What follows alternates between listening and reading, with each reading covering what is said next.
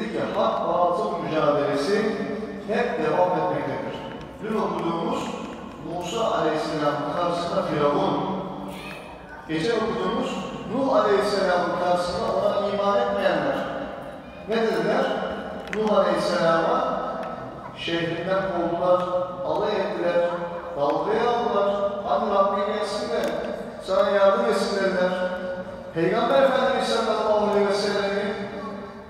Mekkeli müşrikler şehrinden hicret etmek zorunda bıraktılar. Mekke'den Medine'ye hicret etti Allah Resulü Peygamber Efendimiz.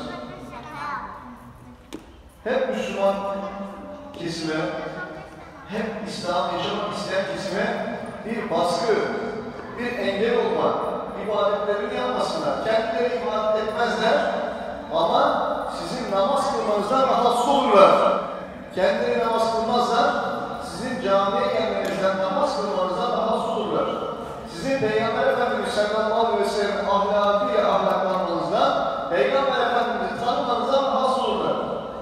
İsterler ki başka başka sanatçıları, başka başka insanları rol model alıp onların peşinden gidin.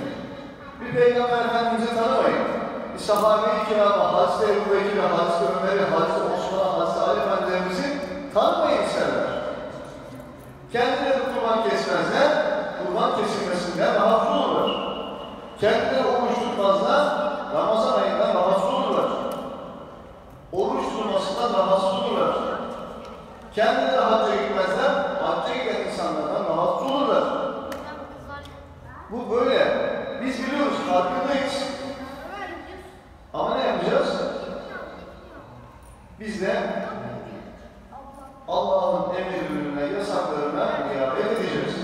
Peygamberlerin izinden gideceğiz. Peygamberler böyle yapın diye davatlarından vazgeçtiler, vazgeçmediler. Biz de vazgeçmeyeceğiz.